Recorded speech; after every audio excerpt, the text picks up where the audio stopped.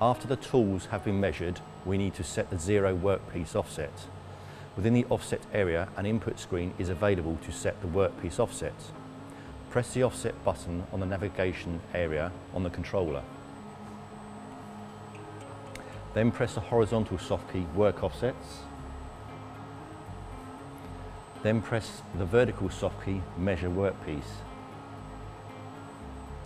Any tool that has been measured for length and diameter can be used to measure the workpiece zero. On the workpiece measure screen, we have to select the active tool and select the zero offset we are using in our NC program. For our program, we have selected G54.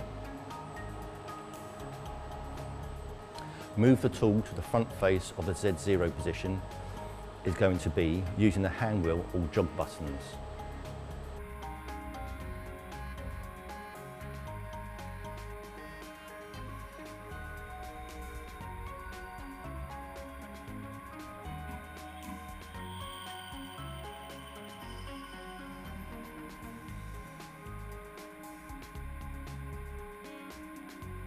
Press the set workpiece soft key.